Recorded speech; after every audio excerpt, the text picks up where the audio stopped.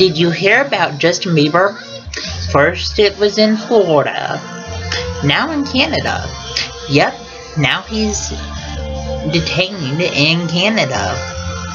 And he assaulted a limo driver in Canada. Please subscribe, rate, and comment.